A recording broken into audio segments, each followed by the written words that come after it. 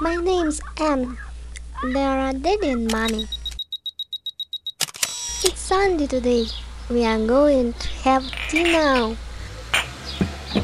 I like helping mommy. The kettle is too heavy and hot. It hurts too much. Mommy told me I was taken to hospital and had a surgery. I remember nothing because I was unconscious. Mommy was even cried, but it was my terrible dream. My daddy is an engineer. He invented the system that makes the house safe to me. If there any danger, the alarm goes off and I know I need to call mommy. Mommy doesn't worry about me. I wish every child to get his or her own safe house because it's so simple.